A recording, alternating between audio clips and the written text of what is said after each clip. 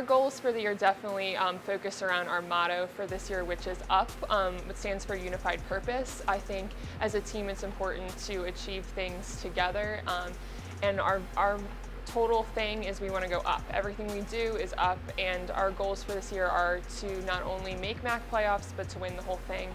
Um, we're very talented this year from our newcomers to our returners, and I think if, uh, this is definitely a year that we have that opportunity.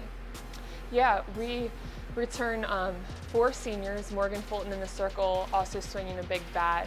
Um, we have Haley Lennon, who's held down the outfield for us for four years, as well as Gina, um, who does a great job as not only our moral center, but also base running appearances in the outfield, and then our um, senior junior college transfer from last year, Aaron Muir, who swings a big bat and will also help us behind the plate at first. Um, and then in our junior class, we also return KB, who out in center field does a great job um, you know, getting on base, running down balls for us and being our spark.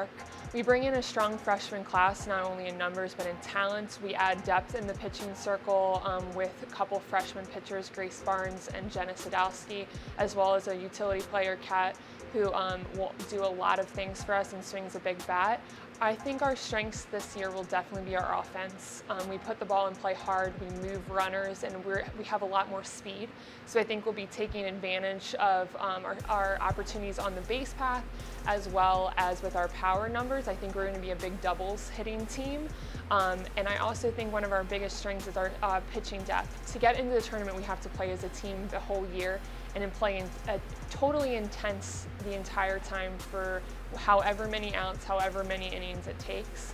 Um, we have some really intense returners. Um, I think Morgan Thayer and Alex DeGrandi will help lead us um, in our power numbers and I think whatever we have to do to find a spark is really important um, and just remain as a team no matter what, who's playing, who's not playing, who fits into the puzzle. It's, it's all going to be interesting. I've been told by my team to say that they're the best team I've ever worked with, and I honestly say that's almost pretty accurate, and I'm really excited for this year and to see what they can do and just see them grow as humans.